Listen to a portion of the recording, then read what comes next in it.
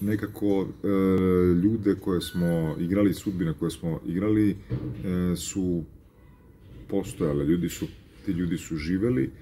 ali osim tih nekih e, osnovnih e, osnovnih stvari e, i koordinata, činjenica kako je to izgledalo, mislim da smo se svi služili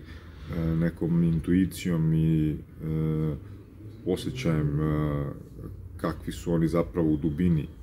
u dubini duše i posebno moj lik, lik doktora, lik doce uh, je uh, zapravo uh, umetničko delo u smislu fikcija je, dakle on je uh, dopisan i, i, i, i napisan onako kako, kakav bi zapravo mogao da bude taj doktor koji ga je zapravo lečio, koji jeste imao prijateljstvo s njim, ali ne, ne i tu ličnu tragediju i ono sve o čemu uh, govori ova uh, uloga uh,